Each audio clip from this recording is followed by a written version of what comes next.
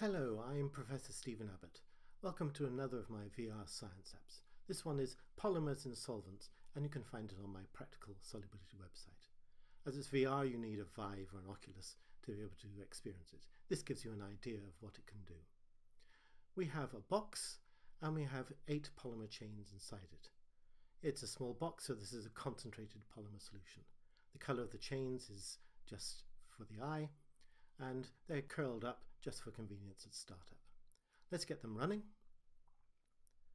And after a short time, they start to unwind and curl to give a random configuration.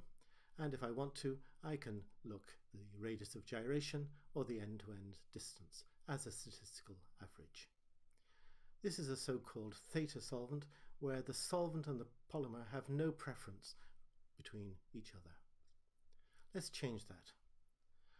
Let's have the relative attraction negative so that the polymer really prefers itself over the solvent. And very quickly it coils in on itself and not surprisingly as you get this big blob it'll fall out of solution. Let's do the other extreme where the polymer really prefers the solvent and now it spreads out. There's a significant difference between the two cases other than solubility. Here, the chains are extended, so there's a very big chance that they can overlap with each other, and therefore the viscosity is relatively high.